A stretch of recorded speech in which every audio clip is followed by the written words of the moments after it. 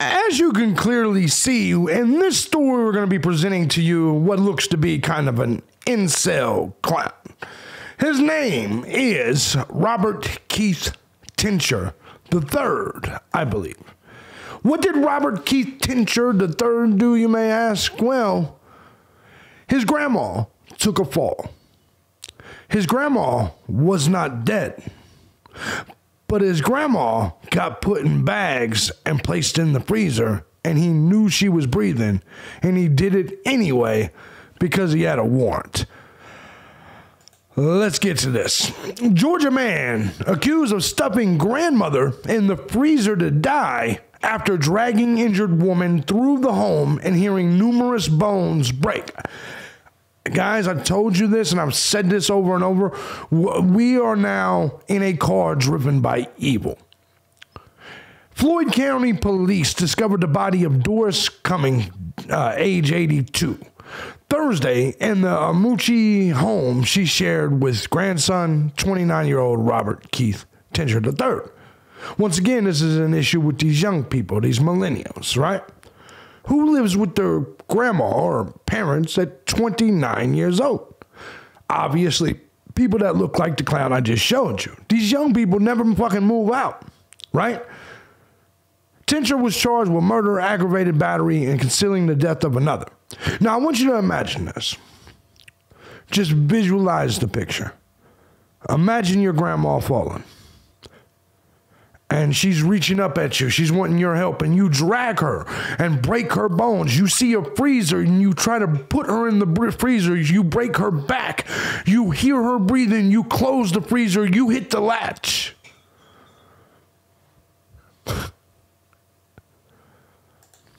Police said Cummings' family believed she had moved out of the state, but grew concerned after not hearing from her and reported she might be missing. Cumming was injured in a fall, and instead of getting her medical attention, Tincher dragged her through the home, causing numerous bones to break. He then wrapped her in plastic bags, bags and placed her in a large freezer, with the charges saying Tincher acknowledged her back broke when he put her into the freezer. Charges say there were no altercation or provoca- provocation leading up to the acts.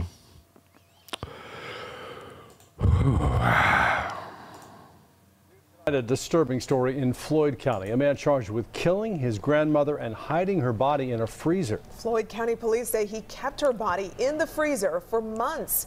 Fox 5's Denise Dillon months. talked to investigators about the heinous months. Crime. This is one of those stories, it's just hard to believe, and it gets even worse. Investigators say the woman was still alive when she was placed in the freezer. Ah. She lived here with her grandson in this apartment. He absolutely loved apartment. his grandmother. He said that was the only family member that really. Oh, he absolutely loved his grandmother. Absolutely loved his grandmother. Well, let me tell you the reason why the goofball did it. He had a warrant out for his arrest because two men arrested after conspiring on Facebook to murder one of their wives. That's him there on the left. This happened in Rome, Georgia. Two men from Rome were arrested Monday. This is back in 2018 after allegedly using Facebook to conspire to kill one of their wives. Courtney Tincher contacted the Rome police saying her husband, Robert Keith Tincher III, age 25 at that time, had vandalized her car in March and posted on Facebook about hiring a hitman. Robert Tincher also allegedly used Facebook Messenger to contact Stephen Walter Brooks, age 25, the other fellow that you saw, to discuss a contract to put Courtney Tincher six feet deep. Both men are charged with felony terroristic threats and acts, and they are currently in the Floyd County Jail without bond, according to jail records. Well, he did get out.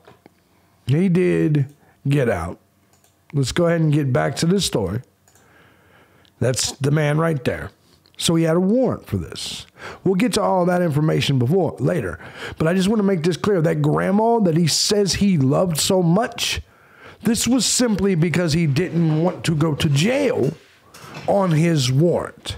He loved her so much that when she fell and hurt herself, instead of taking her to the hospital, He didn't want to get captured for his, instead of dialing 911, he didn't want to get caught for his warrant. Him the courtesy and love and attention that he really needed. Oh, right. Robert Tincher and his 82 year old grandmother, Doris Cumming, lived together in this Floyd County apartment. This is disgusting. Police say in late December, the grandmother slipped and fell. Investigators say the grandson, Christmas. fearing he would be arrested on a previous warrant involving threats over social media against his wife, did not call 911. Let his grandmother die over fucking threats that he probably either could have beat the case too because he was young with no felonies or got probation. He literally just killed his grandmother so he didn't have to do like a year probation. Let that sink in for a second.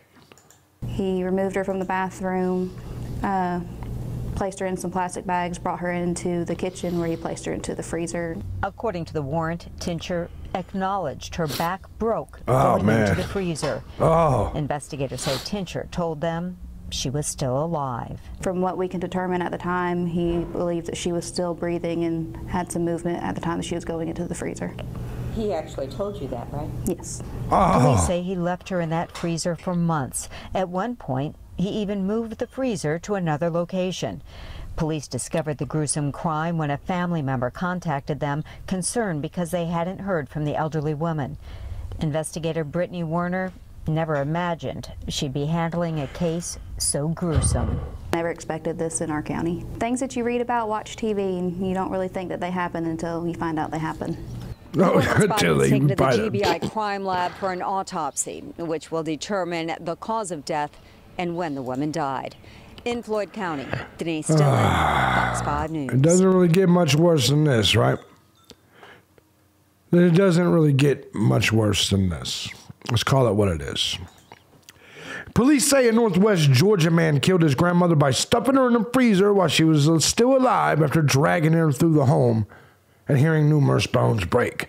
Police say they believe that Cumming was injured in a fall in December, and instead of getting her medical attention, Tincher dragged her through the home. A criminal charge sheet says Tincher heard and saw numerous bones break. He allegedly then wrapped her in plastic bags and placed her in a large freezer, which he acknowledged that the back broke going into the freezer and that he, she was breathing when the freezer closed, was locked. Tincher continued living in the home with the body inside the freezer for months, but moved it to a storage unit in March, fearing Cummings' body might be found. You, you, you, can't make this shit up. Police said Cummings' family believed she had not moved out of the state, but grew concerned after not hearing from her and reported she might be missing. No altercation or provoca- provocation leading up to the acts.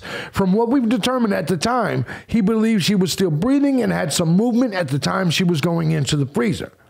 He didn't call 911 because there was an arrest warrant out for him because of terroristic threats he made in 2018 against his wife. He was arrested at that time, back in 2018, for using Facebook to contact another man to essentially have his wife killed. Courtney had a police had had contacted police to report that Robert had vandalized her car and put out a call for a hitman to kill her on Facebook.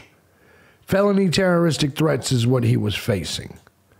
He says he loves his grandmother, loved his grandmother.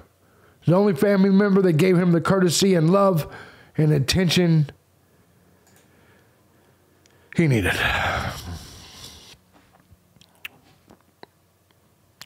As someone that when my mother and when my family wasn't very good, I was also raised a, a good portion of my life by my grandmother.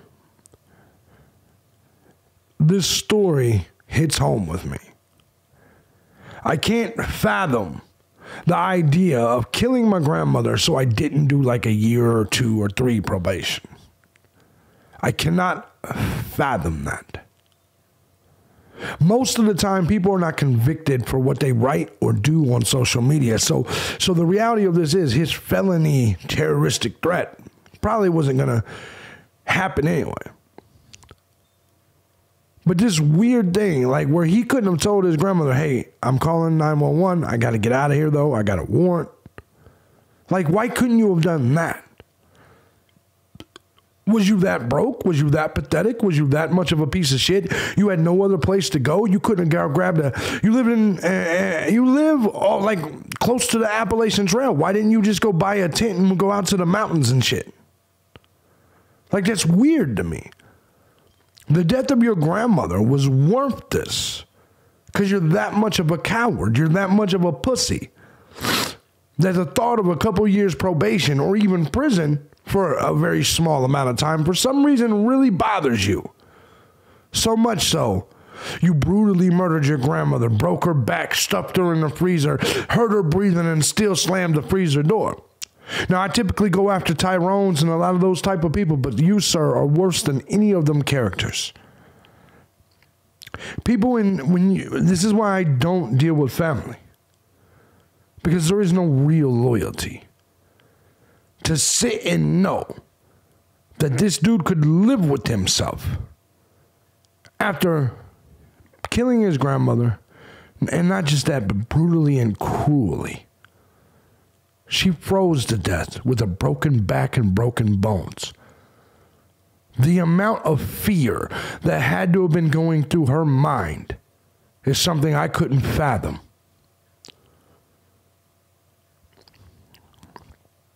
This may be one of the saddest stories I've ever done. Maybe one of the most saddest stories I've ever done. The Tyrones are supposed to be fucking animals. You're not supposed to be.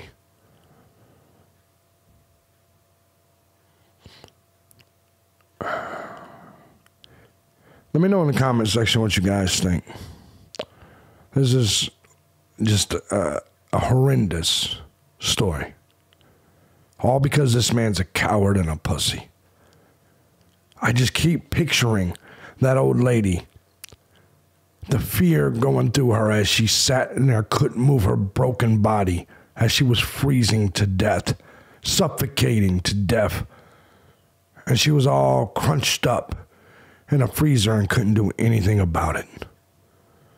Somebody needs to do the exact same thing to him.